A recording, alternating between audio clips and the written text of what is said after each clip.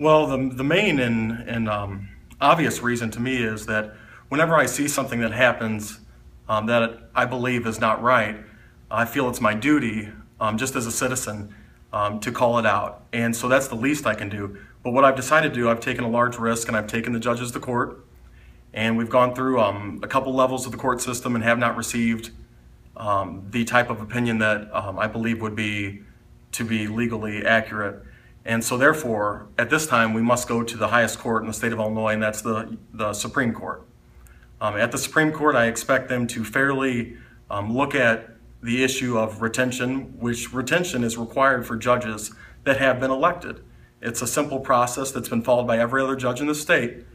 And the reasoning behind um, the three St. Clair County judges deciding that they should um, not be seeking retention and rather that they are seeking election is because they do not believe that they can receive 60% of the vote. Um, the Chief Judge, John Baricevic, has stated that he thinks the voters should get the chance to decide and that they should not get kicked off the ballot. I firmly disagree. The voters deserved a chance to vote for them um, on their, based on their retention, um, as the Illinois Constitution um, permits them to.